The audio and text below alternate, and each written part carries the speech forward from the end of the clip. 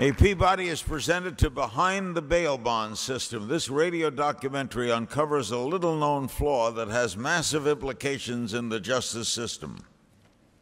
Steve Henderson runs Lubbock's parole and pretrial release program a block away from the jail in a small, dark office.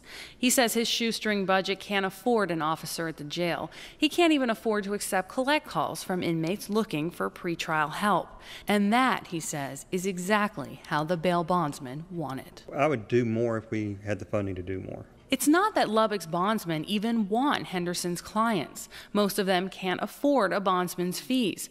But Henderson says the bondsmen lobby to keep his program as small and unproductive as possible, so no paying customers slip through. Correspondent Laura Sullivan will accept the Peabody.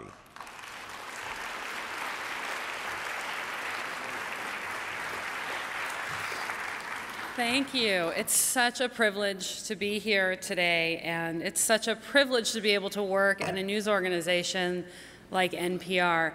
Um, these stories are so expensive and they're so time consuming and they're such a gamble.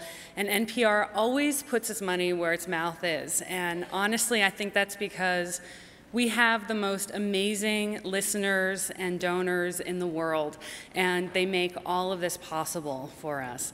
Um, thank you so much to my amazing editor, Steve Drummond, who just works magic on these stories, and to NPR and also to the Peabody Board for this amazing honor.